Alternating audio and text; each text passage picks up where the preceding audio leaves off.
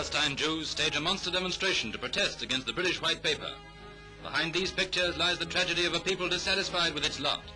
In Tel Aviv's great stadium, they learn that Britain wants Jews and Arabs to live together in peace, while we will guarantee each nation from domination by the other.